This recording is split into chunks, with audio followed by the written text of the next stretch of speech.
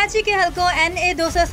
और P S एक सौ ग्यारह के जमनी इंतखब में तहरीक इंसाफ की जीत की खबर सुनते ही तहरीक इंसाफ के कारकुनों में एक खुशी की लहर झूम उठी नौजवानों ने सी वी ओ को पार्टी पॉइंट बना दिया जहाँ उन्होंने आतिशबाजी की और पार्टी के तरानों आरोप रक्स भी किया तहरीक इंसाफ की इस जीत आरोप कारकुनों ने खूब जश्न मनाया Hina Sadaf twenty five news Karachi